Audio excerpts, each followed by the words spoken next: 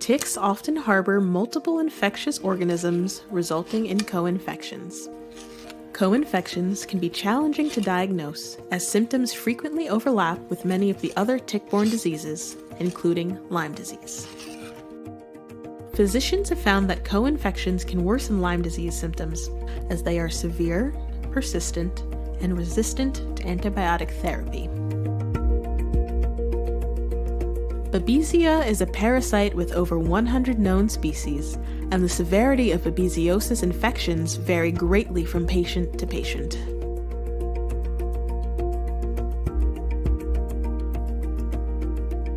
Most cases of the Babesia co-infection involve Babesia microti and Babesia duncani.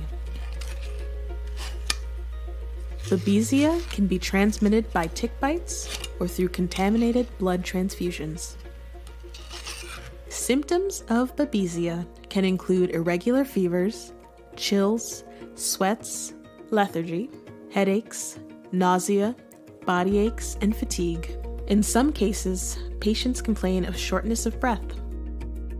Babesia can be effectively treated with a combination of anti-malaria medications and antibiotics such as atovaquone with azithromycin.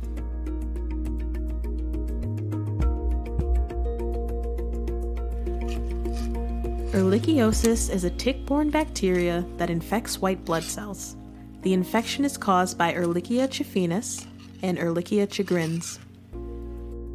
Symptoms may include fatigue, fevers, headaches, and muscle aches. It can be treated with antibiotics such as doxycycline or minocycline and rifampin. If left untreated, ehrlichiosis can become severe and require hospitalization.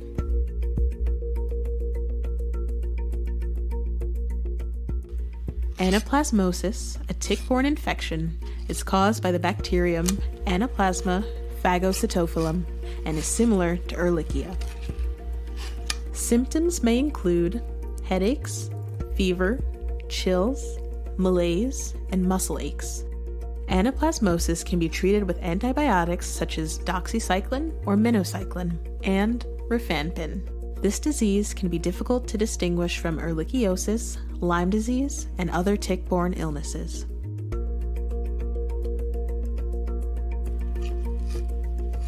Various Bartonella species have been found in black-legged ticks in northern New Jersey and in western black-legged ticks in California. Research can be confusing because Bartonella can also be contracted through a cat scratch. Some patients had a streak mark rash, and early symptoms usually include fever, fatigue, headaches, and swollen glands. Bartonella can be treated with antibiotics such as doxycycline and minocycline, azithromycin, trimethoprim and sulfamethoxazole, clarithromycin, and rifampin. Southern tick associated rash illness, or STARI, is an emerging tick borne illness related to Lyme disease and was identified in the southeastern and south central United States. STARI is believed to be transmitted by the Lone Star tick. However, it is not officially confirmed as of yet. The hallmark sign of STARI is an EM like rash similar to that in Lyme disease. Patients may also experience fevers, headaches, stiff neck, joint pain, and fatigue. The long term consequences and treatment of the illness have not been established.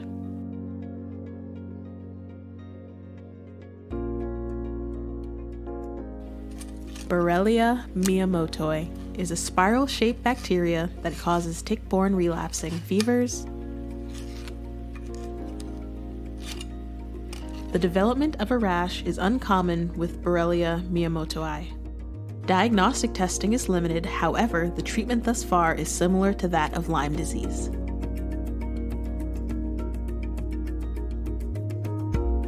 Remember, tick borne co infections are the norm, not the exception.